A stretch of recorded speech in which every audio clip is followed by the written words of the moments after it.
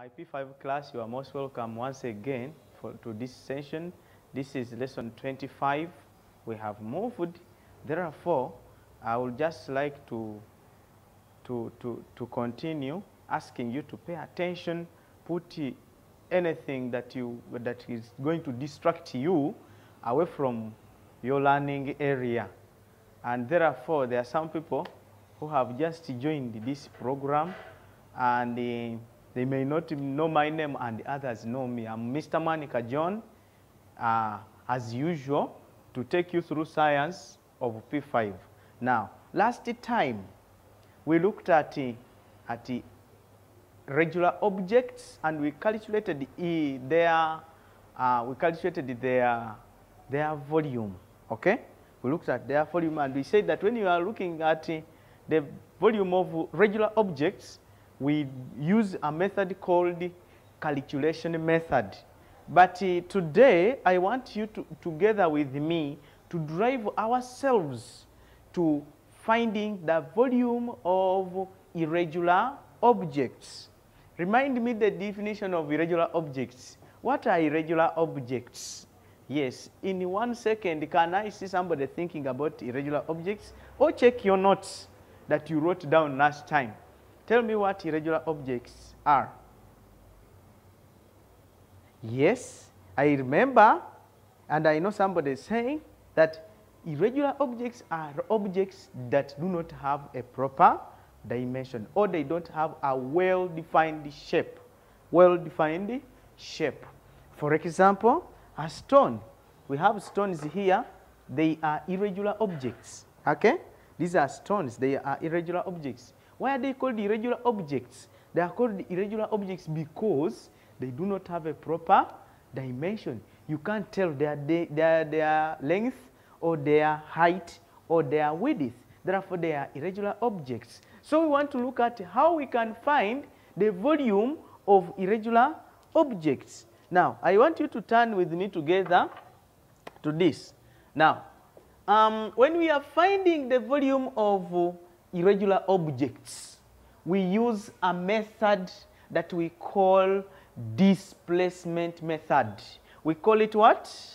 Displacement method. Spell the word displacement together. Displacement. D I S P L A C E M E N T. Displacement. The way you hear displacement. Maybe it is going to displace something. Okay? So we use a method called displacement method.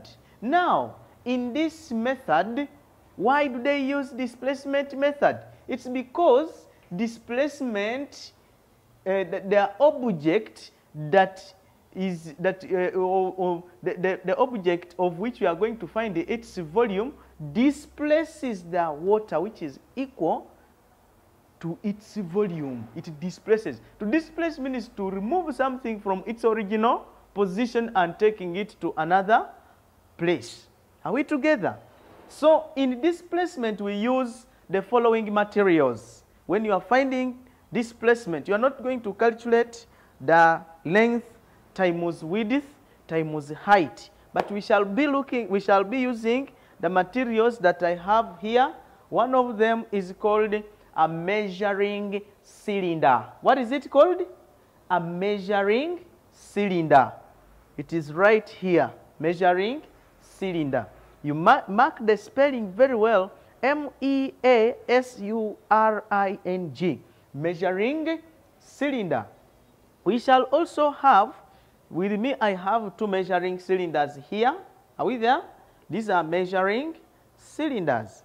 Find that one of them is is taller than the other. Okay? Therefore, we shall use a measuring cylinder and also we have what we call a eureka can. It is called eureka can. It is called eureka can or overflow can. It is called overflow can. Are we there? So an overflow can, how is it different from a measuring cylinder? It is, uh, it is different from a measuring cylinder because this one has what we call a spout. Has what we call a spout. Okay? That's good. What do we also need?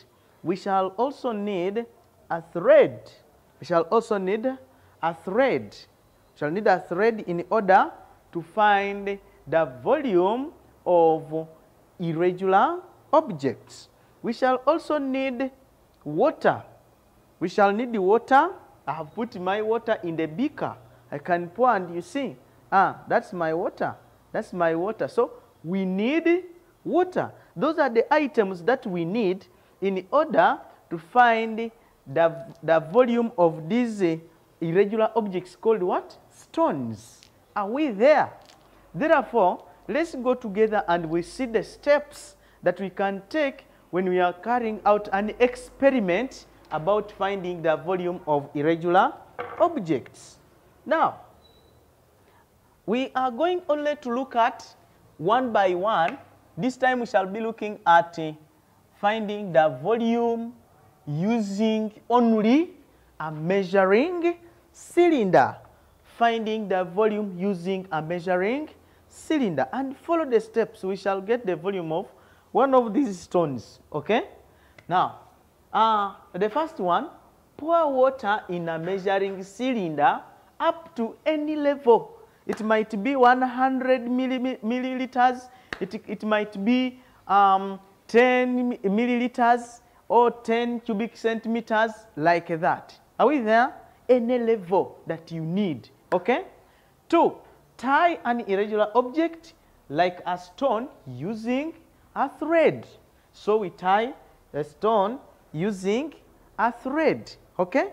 Then later, carefully lower the object or stone into a measuring cylinder as shown in the diagram. So here, we, uh, uh, uh, after pouring, after doing whatever, following the steps, you are going to find out that the first step is that. Either pour uh, water of any level in the measuring cylinder. These containers that are drawn here are, are what? Um, are measuring cylinders. Okay? After pouring, what shall we, what shall we see? So let's try to follow the steps the way they, they, they, they, uh, they, they, they showed us. So uh, at first we are going to pour water of any level. My measuring cylinder has the units. It has the units as uh, milli milliliters. Okay? So we are going to pour this water up to which level? Can you suggest the level? At what level should we pour? I'm hearing 10, I'm hearing 20, but let's see. Let's, let's decide to pour at, and we, we make it up to 30, and we see what, the, what, what will happen. So I'm pouring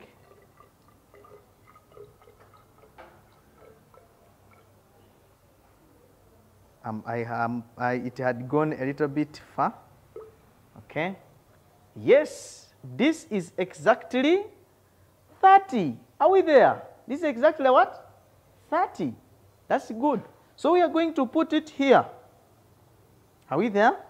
After putting it there, they told us tie an irregular object like a what? A stone. And the good thing is that I have a stone around this is my stone and this is my what? Thread. I'm going to tie it. Which method am I using? Displacement method. Why do I use displacement method? Because I don't know the length of this object and I don't know the width of this object and its height is not known. So what am I going to do? I'm, I'm tying it. I'm using, uh, I'm using what? I'm using displacement method. So my stone is like this. What's the use of a thread? I'm going to use this thread to lower the stone, to lower this stone into a what? Into a measuring cylinder. Let's go. This is the measuring cylinder, and this is my stone, which has been tied on the thread. Fall up. Let's see what happens. Okay. Let's see what happens. They said, Sorry, sorry, sorry. It, it, it just dropped without uh, care. But I said, carefully. So let's go carefully and we see. Carefully, carefully. Carefully, my stone goes. Here we go. Here we go. I'm reaching the water. Finally, I enter the water. The water moves up. The water continues moving up. The water continues moving up. Ah, up to a certain level. And my level, that is the new level, is uh, 40. My new level is what? 40. Are we there? Now, somebody is saying, Teacher, can I do this at home? Yes, you can do it at home if you have these materials. Okay? Now, it is at 40. Have we got the, the volume yet? We haven't got the volume. But what are we going to do?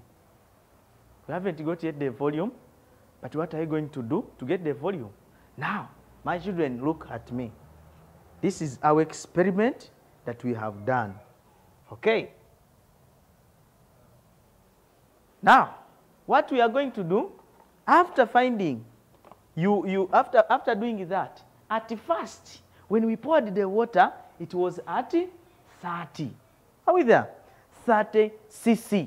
Cc in full is cubic centimeters. Cubic centimeters is the, is, is, is the units used for measuring volume. Are we there?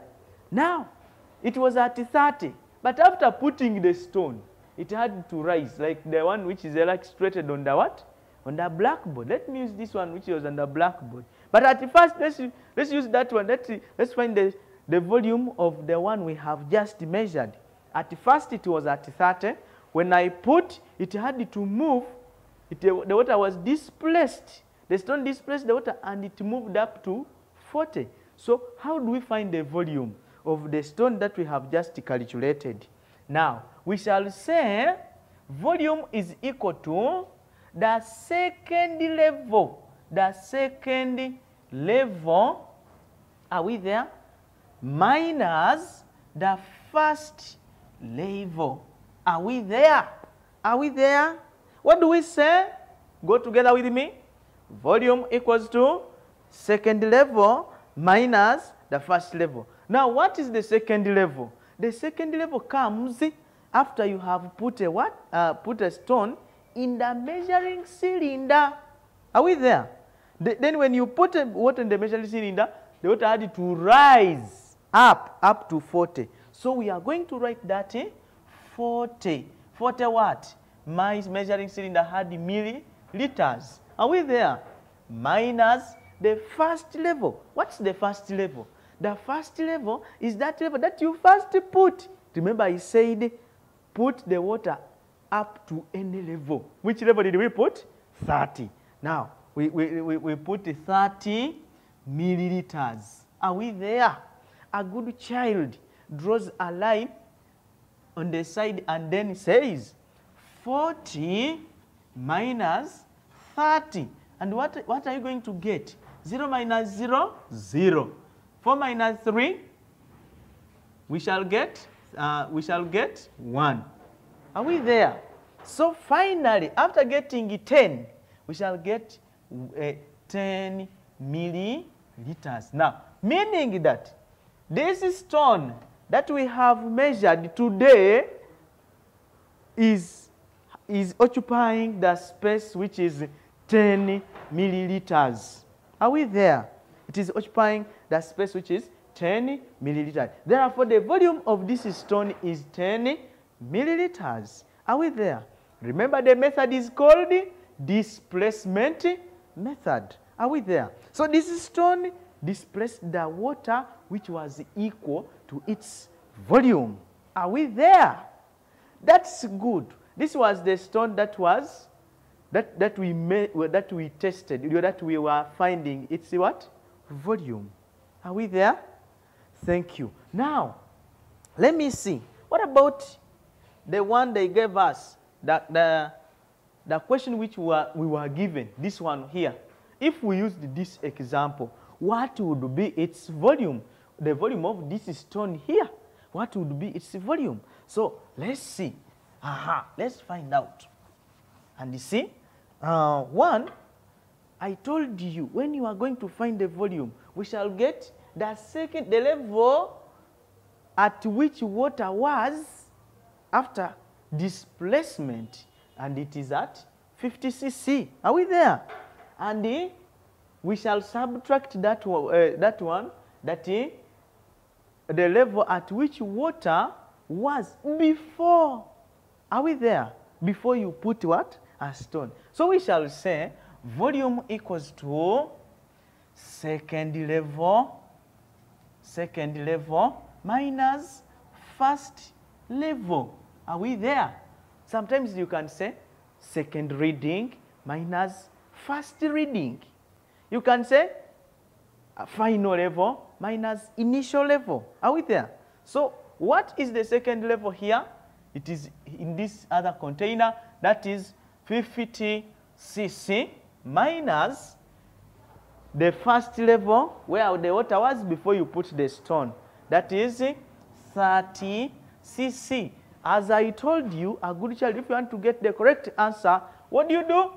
You draw a line aside and say 50 minus 30. Ah, what are you going to get? 0 minus 0, 0. 5 minus 2, mi- minus 3, you get 2.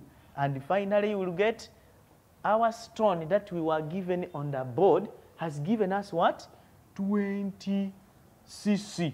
Don't forget the units. The units that you are given on the measuring cylinder is what you use. Have you got my children? That's good. Are we there? Now, this is to remember. This one is just important information to remember. One, a measuring cylinder is used because, because it is graduated. Because it is graduated. Because it is graduated graduated. Now, when we talk about graduation, we don't mean that that that that it has got a degree. No, it has not got a degree, but it has measurements. It has the numbers and the units that's being graduated. Are we there? Then another thing that we need to know, a thread is used for lowering the stone into a container. Let me remind you something before I end. When you are using a measuring cylinder, you have to subtract the, the second level minus the first level. And the method remains displacement method. Now, members, I'm going to put my two numbers, just two numbers on the, on the board. And you will sit down and write them, and I see whether people have been following me or not. I love you so much. I remain Mwanikha John. Continue learning with us and you'll understand. Thank you.